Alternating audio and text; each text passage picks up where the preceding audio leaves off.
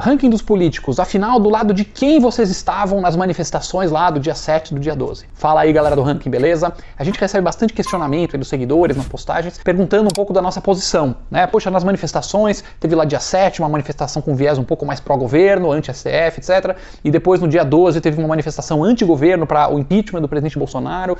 E é, afinal, vocês estão do lado de quem, né? Vocês estão com quem? Aparece muito essa pergunta. Primeiramente, a gente teve a postura de tentar reportar o máximo possível, claro, é, divulgar, reportar as manifestações, descrevendo as visões de cada lado, o que estava se defendendo, qual era a lógica e o raciocínio de cada lado dos atores políticos. Então a gente buscou fazer análise política, mas sem é, tomar lados e dizer, ó, nós estamos com esse grupo ou aquele. Por que isso, pessoal? Em primeiro lugar, claro que é, tem uma questão de foco do ranking. Nós somos um projeto para avaliar parlamentares. Nosso foco é o legislativo, porque o legislativo é o poder, em última análise, com mais força na República e é o mais negligenciado, é aquele que ninguém dá bola, que ninguém lembra em quem votou e a gente deixa eles largados fazendo o que bem entendem. Então esse é um motivo. E o segundo motivo mais importante, pessoal, é que ainda falta, na nossa visão, um pouco de amadurecimento político no Brasil, porque ainda é a política um pouco vista aqui tipo jogo de futebol, né? Torcida de futebol. Muito pessoal, muito personalista. Então, ah, você tá com quem? Vocês estão com quem? Vocês estão com o presidente? Se você tá com o presidente, então, é, para alguns você é automaticamente um fascista, um genocida. E se você não tá com o presidente em todas as é, posturas dele, em todas as atitudes, então você é nova esquerda, você é comunista, traidor.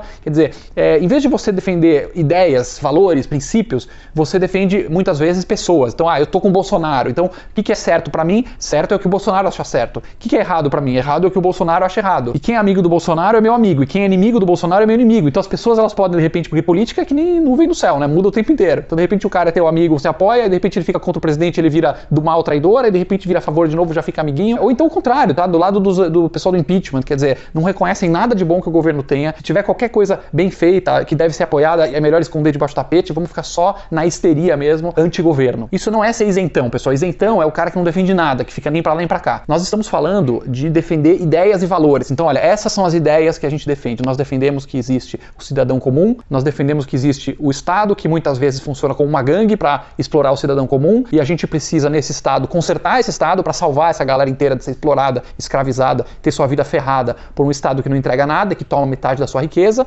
Então, a gente precisa atacar o poder central aqui do Estado para reduzir corrupção, privilégios, desperdício. Pronto, essa é a ideologia do ranking. Se o Bolsonaro fizer projetos e, e atitudes que apoiem o desmonte dessa gangue, nós vamos apoiar e dar bola dentro, assim como vocês veem sempre nas nossas postagens. Bola dentro do governo, bola dentro isso, bola dentro aquilo. E aí muita gente no comentário fala: vocês são fascistas, vocês estão apoiando esse governo genocida. E aí no mesmo dia, às vezes o governo pisa na bola, faz besteira ou cede à pressão do centrão, não importa. O importante é que com certas atitudes do governo, o cidadão comum é ferrado no Brasil. E aí a gente vai lá, bola fora, isso aqui não tá certo por causa disso, disso, daquilo.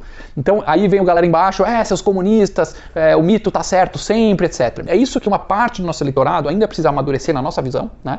para parar de idolatrar esse ou aquele, seja ele o Bolsonaro ou anti-Bolsonaro ou quem quer que seja, e a gente começar juntos a lutar por essa pauta de ideias. O que é bom para o nosso país, para quem é o cidadão comum, não para quem está na gangue de mamador de tetinha, né? Porque se você está na gangue e você tem uma tetinha em que estão pagando a sua conta mensalmente, porque você tem uma pensão de marajá, você consegue ter uma boquinha aqui da corrupção, você consegue tirar um precatório ali e fazer o governo te pagar umas verbas milionárias, porque você tem acordo com o judiciário, se você consegue ter uma tetinha, tá gostoso demais. Tem um monte de gente idiota pagando tua conta. Porém, se você é parte das vacas leiteiras que estão pagando a conta, então a gente tem que mapear quais são as pautas que a gente precisa pressionar, né? Pressionar o poder executivo, pressionar o legislativo, trocar os parlamentares ruins que votam antipovo, colocar lá parlamentares comprometidos com a agenda, não necessariamente porque são pessoas boas, né? A gente vai colocar pessoas do bem, eu vou acreditar que aquele meu político, ele sim é do bem. Não é verdade, pessoal. A história nos mostra que o poder corrompe sim. E o poder absoluto, ele corrompe de forma absoluta. O importante, mais do que ter o cara do bem lá em cima, é um sistema de eleitores atentos, alertas, votando certo, votando consciente, em que o cara, mesmo o cara do mal, mesmo o cara malandrão, que ele só quer saber de poder, ele é obrigado a fazer a coisa certa. Se ele não fizer a coisa certa, ele não é mais reeleito. Então, isso que é bonito, um sistema em que um poder controla o outro, as instituições fortes controlam as outras, o cidadão tá de olho, a mídia tá de olho, tá todo mundo de olho, forçando os políticos, que muitos são do mal, outros são médios, a maioria tá lá só por poder e dinheiro mesmo, porque esse é o business dele, esse é o negócio dos caras, mas ele é obrigado a fazer a coisa certa porque a gente não deixa o cara fazer diferente. Então, é com isso que vocês podem contar com o ranking dos políticos. Políticos, pessoal. Nossa proposta é tentar sair um pouco